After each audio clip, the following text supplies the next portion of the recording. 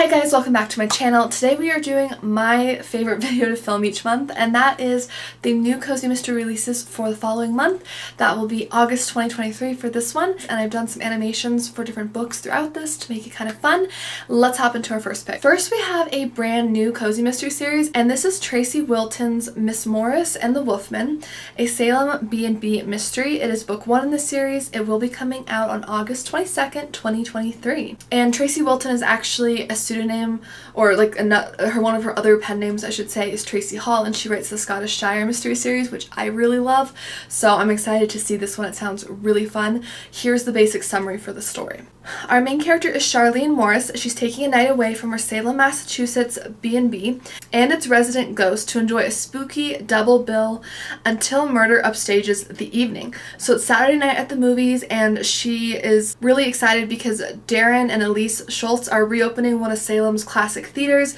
She's really excited to help this couple with their new venture and Darren has picked up some cult classic double headers featuring Lon Chaney in The Wolfman.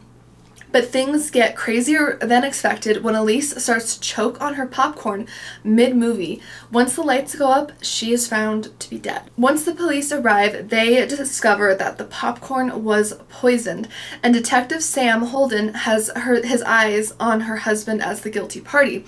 But Charlene absolutely does not believe that Darren would hurt his wife, even if his company's specially seasoned salts were sprinkled on the popcorn. So Charlene is now trying to figure out who had a motive to do something to Elise. With a little bit of help from Jack, the handsome ghost who haunts her bed and breakfast, Charlene delves into the ill-fated couple's past. The more she learns, the more Charlene wonders if this time she's bitten off more than she can chew. I'm really excited for this. It looks like it's a brand new series and the premise is really fun, a great supernatural one as we are getting closer to fall and the cover is darling. Our next one is a very popular series by Donna Andrews. It's called Birder She Wrote, a Meg Langslow mystery. It is book 33 in the series and it will be launching on August 1st. So in this one Meg has a lot going on and all she wants to do is enjoy an early summer morning you know, like most of us. She just wants to enjoy her morning, but she just keeps getting slammed with projects. And this starts off with her dad asking her to set up some bees in his backyard, which Probably not her idea of a good time. And then her grandmother shows up with a reporter and tail. And then the mayor of the town actually tasks her with this project which she's not looking forward to and that is talking to and like handling this problem where a lot of people are moving into the town and they're building these big like McMansions next to these farms and the it's just disrupting the town's like beauty and it's noisy it's just people are clashing over it so Meg has been tasked at solving this or trying to neutralize some tension there. On top of this, Meg has been given a task by a deacon from a Baptist church in the area.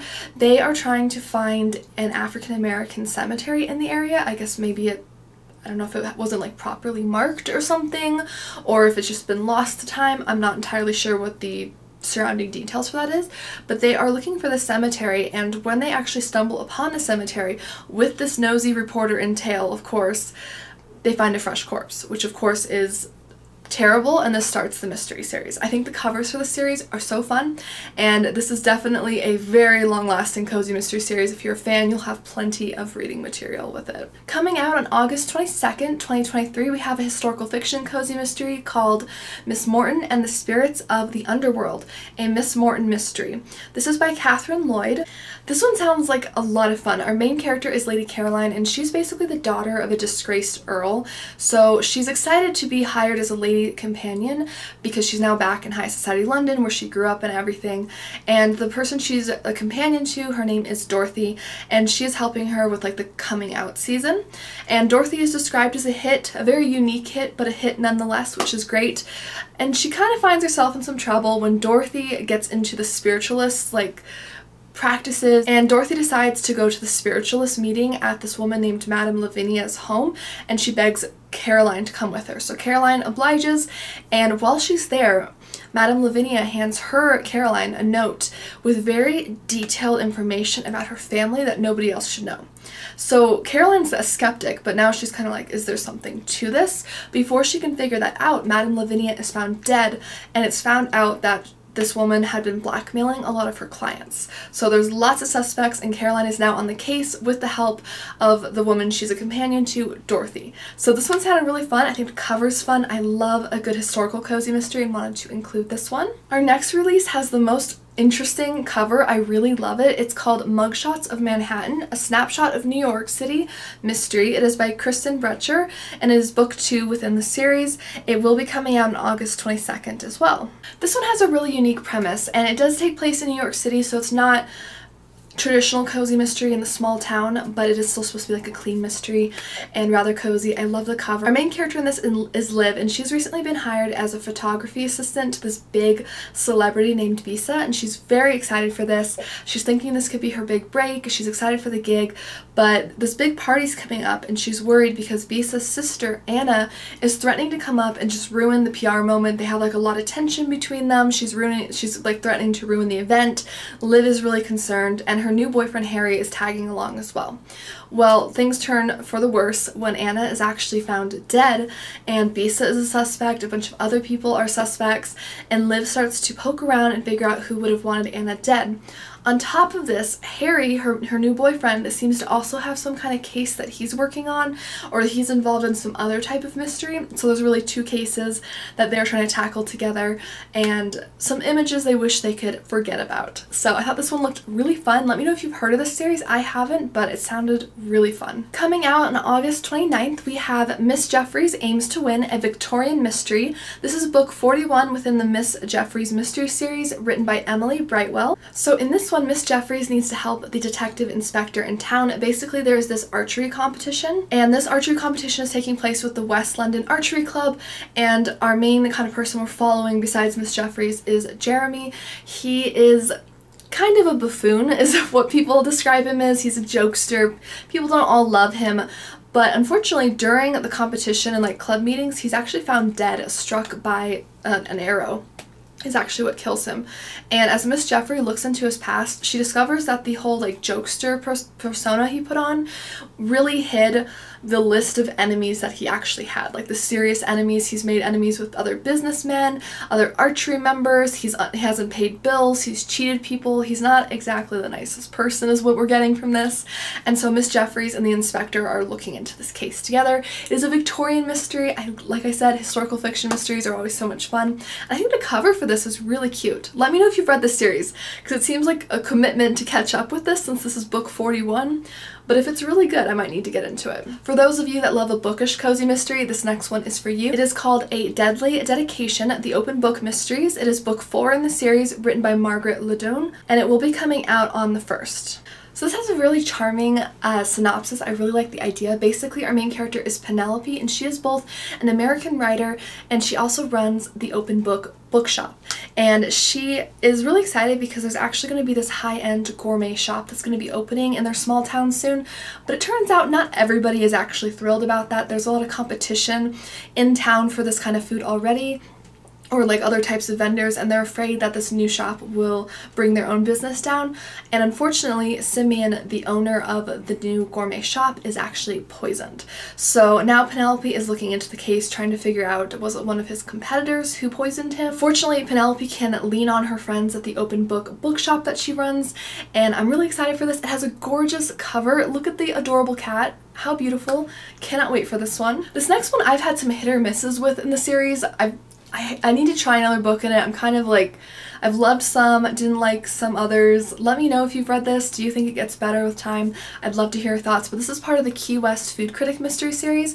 This is book 13 in that series. It's called A Clue in the Crumbs, written by Lucy Burdette and it will be coming out on the 8th. Our main character in this is food critic Haley Snow, and she also has her pal Miss Gloria who she lives with, and they're overjoyed to welcome Violet and Bettina Booth, aka the Scottish Scone Sisters, to Key West. The sisters are going to be hosting the UK Bakes Key West edition. However, the same day they arrive, the bed and breakfast that the sisters are staying in actually gets torched. The contest begins the next morning featuring three local bakers. One is the inn owner's wife, Raina, who is not only the most talented chef of the group, but also a person of interest in the fire. The next night, a dog walker discovers a body near that same bed and breakfast, and it appears to be Raina's husband, with the murder weapon pointing directly to the two Scottish Scone sisters. What a mess. The show has to go on though, and in between filming sessions, the three elderly ladies and Haley must search for clues to the brutal murder in order to find out who wants to force them out of the kitchen. But as they draw closer to the answer, the threats from a murderer grow closer too. Are they in danger of getting baked off? I love this. I really liked Haley as a character. I need to try another one from the series. Let me know if you've read more than like four books in the series. What were your thoughts on books going forward? I'd love to hear your thoughts. But I do re remember really loving book one especially. And I just love the cover and concept. And Key West is such a great location for like a summery cozy mystery. Next we have a Halloween cozy mystery because it is getting that time of year. This one is called Catch Me If You Candy. It is a Bake Shop mystery series book 18 in the series written by Ellie Alexander and it will be coming out on August 22nd, 2023.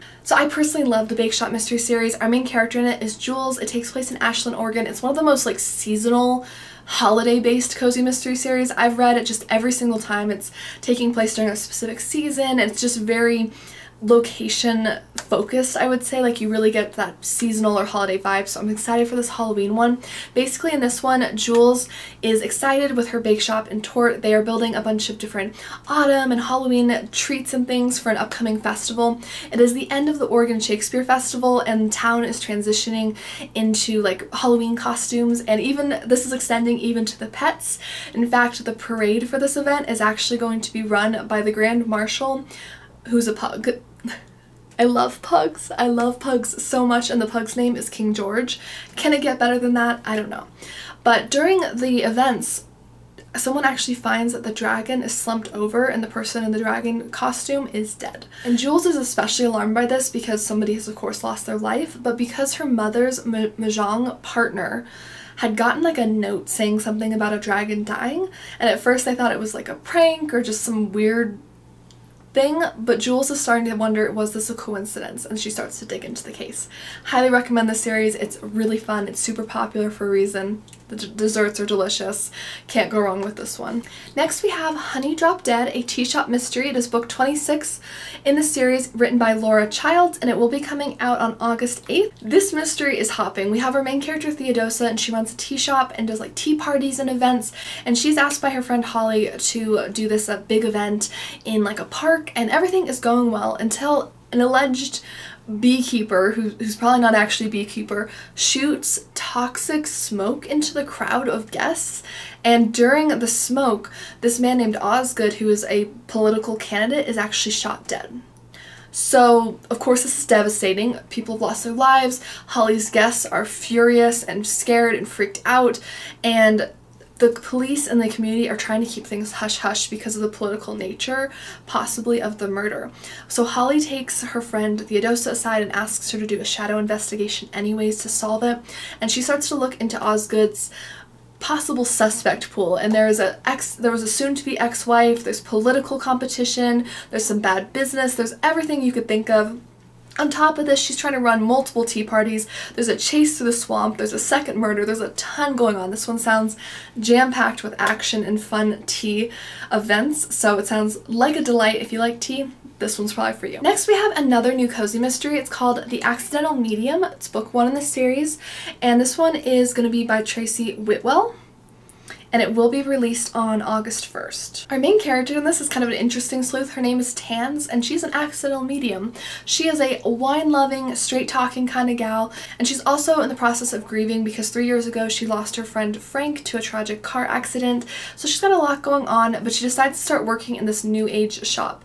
And while she's there, she discovers that these voices in her head are not her going crazy as she puts it, but are actually, she can hear voices from the dead. She starts to realize that she can tell people, like communicate from the dead and like tell people messages from like loved ones and things. And the more she gets into it, the more she realizes that her family actually is a long like held line of psychics. So very interesting premise. There isn't much detail about the actual like murder mystery, but that's kind of the premise for it. So if you like a supernatural cozy mystery, sounds like we have a medium and she's kind of a cocktail loving, wine loving gal and she's just trying to move on with her life and she discovers she has this ability lots of craziness ensues. A very fun, maybe kind of spooky season cozy mystery to get into. For the cat lovers out here, we have a Bookmobile cat mystery. This is book 11 in the series. This one is called A Troubling Tail, written by Laurie Cass, and it will be coming out on August 1st. Our main character in this is a librarian, and her name is Minnie, and she has her adorable cat, Eddie, who's a rescue cat. And they are in the charming town of Chilson, Michigan, which is really beautiful in the spring. The bookmobile is delivering all these reads to the patrons throughout the town. It's exciting. The warm days are coming, but then a chill sweeps through when they discover that one of their favorite patrons, the owner of Hennica's Candy Emporium, has been found murdered. Minnie just cannot understand who would have murdered this kind man, and she decides that this sticky problem is hers to solve. She's going to figure it out because she really cared about this person. Unfortunately, rumors start flying around town, and the police have no leads. Minnie is almost ready to throw her investigative hat into the ring, but the more she looks into it, the less certain she is that the victim's past is as wholesome as his reputation. She starts to unearth some truths, and she discovers that there might have been several people from his past who wanted him dead dead. So Minnie and her rescue cat Eddie will not rest until they determine how their friend met his bitter end. So very sweet one. I'm really excited for this. I love a good cat cozy mystery series. I really want to start this one soon. I think the cover is just so cute for this. Next we have a new to me cozy mystery series and this one is called A Sense for Murder, a Sally Solari mystery, book 6 in the series written by Leslie Karst and this will be coming out on the 1st. Okay, I love this one because it's not only a murder mystery, but there's a heist involved, and I just love heists I think they're so fascinating in books and fiction and stuff. So our main character in this is Sally and she is a really great chef. She lives in Santa Cruz and she really has her hands full because she's running both a French Polynesian restaurant and then like her family's Italian seafood restaurant. And the town is kind of struggling because it sounds like there's a lot of people who are homeless who are kind of camping around. They don't have anywhere to go. There's a lot going on there. And she, Sally jumps on this idea to help at this auction where she'll be cooking in this culinary bookshop which does that just mean like a cafe in a bookshop or like a full-on restaurant? Because either way, that sounds great. But she's going to be cooking and there will be an auction with this really great book like a book from Julia Childs, like a rare edition. And everything is going well. Unfortunately, the Pages and Plum dining manager is found dead and the book that they were going to auction off from Julia Childs is gone. So Sally is now up to her neck trying to solve this mystery. She's trying to use all of her skill sets, all of her contacts. She's trying to keep her neck intact from this killer who seems to also have a love for French cooking. This one just sounded really fun. I love the idea of a culinary bookshop. That sounds like a blast. We have another bookish cozy mystery up next and this is called Murder at a Cape Bookstore, a Cozy Capers book group mystery, book 5 in the series. It's written by Maddie Day and it will be coming out on August 22nd. This one takes place with our main character Mac and she's a bike bicycle shop owner in Cape Cod and it is nearing the spring equinox and the Chamber of Commerce director Wagner is kind of getting some events together, butting heads with some locals. Things are going on but you know, it's March, they're gonna get through. And there's plenty of delicious treats and things to enjoy throughout the town, so everything seems okay until Wagner is actually found dead. Not great, and he's found pinned under a bookshelf horrific way to go, not great, and Mac and her Cozy Caper book group are going to kind of sleuth in this. They just can't resist solving a mystery so close to home and one where the bookshelf kind of ended ended it all. You know, it seems a little poetic. So they're gonna go ahead and solve this. It is a spring cozy mystery taking place in Cape Cod. Sounds really fun and delicious, but still very bookish. So really fun one to check out. For historical fiction fans, we have Murder at the Elms, a gilded Newport mystery. It is book 11 within the series, written by Alyssa Maxwell. This takes place in 1901 and it will be coming out on August 22nd, 2023. And this is book 11 within the Gilded Newport Mystery Series. So this one sounds very fun. We also have another heist trope one in here, so I'm excited. It takes place in 1901. Our main characters are Emma and Derek. They have just returned from their honeymoon. They're settling back in. Things are going okay until this man named Edward, who is a coal baron in the area, decides to show off a little bit. He's got a big mansion and it's the first one in the area to get electricity. He's very proud of this. It's powered by coal and he actually has all of his servants except for one go on strike. Like they're not happy with him. He sounds like a pretty cruel employer and he decides to anyways throw a big party, have everyone over including Emma and Derek. They arrive and there's a lot of music, it's a beautiful party. but tragedy strikes when a chambermaid is actually found dead in like the coal I guess it's like a coal, maybe not a coal mine like on the premise, but like some kind of coal chute or something, and the chambermaid is found in there and a guest diamond necklace is also missing. On top of that, a laborer is also disappeared, and the detective on the case enlists Emma and Derek to help him solve the case. Sounds really fun. I think the cover is gorgeous for this. We have another cat mystery. This one is called Nine Lives and Alibis, a cat cafe mystery. It is book seven in the series written by Kat Conte, and it will be coming out on August 22nd. This one is a messy one. So we have our main character Maddie and she is really excited because her town is getting ready for Halloween. It's that time of year, so another Halloween cozy mystery. Everything is going okay until her younger sister books a famous medium, like psychic, and has them come to town. The psychic comes to town, but there's a lot going on. There's some, you know, people who aren't very happy about this. There's the town busybody who has booked exclusive private meetings with them. And then Maddie's own best friend is actually asking the psychic for advice advice on two different 40 year old cold cases that she wants to get solved. A lot going on right there. And unfortunately, the psychic is found pushed off a cliff, and now it's left to wonder who was mad at this person. It's also discovered that the psychic had a stalker who was demanding that they connect them to their dead hus husband, like maybe communicate through the dead or something like that. So there's a lot of people who maybe would have been mad at either messages the psychic said, there's the stalker, there's a lot of things being riled up, the town is thrown into a frenzy, they're trying to prepare for Halloween, and this is obviously not what anyone wanted to happen except for the murderer. So this is kind of the general synopsis for this one. It sounds really fun. I've been meaning to get to this cozy mystery series. It sounds like a blast. Our next one is one I mentioned in my most anticipated releases for the second half of the year. I'll link that above if you want to check out my cozy mystery release video. This one is called Read to Dead at the Lakeside Library, a Lakeside Library mystery. It is book three in the series written by Holly Danvers and it's recommended for fans of Jenn McKinlay and Ellery Adams. Our main character in this is Rain Wilmot and she's the owner of the Lakeside Library. She thinks this is the best opportunity to bring back her mother's summer book club. Unfortunately, the summer sun starts to really heat up when one of the club members, Lily, is found dead in her home not long after the first meeting. Alongside her sidekick and neighbor Julia Reynolds, and the charming Jace Lowe, Rain discovers that the murder is seemingly inspired by the book the club recently discussed, which was Agatha Christie's classic mystery novel, Sparkling Cyanide. But who would want to kill Lily, and more importantly, why? The deeper Rain dives into the story, the more confusing everything becomes. Was it possible that Lily was murdered to cover up a tragic accident years ago? Involving an old classmate, or were the rumors true? Did Lily have a priceless original Laura Ingalls Wilder manuscript and someone killed her for that?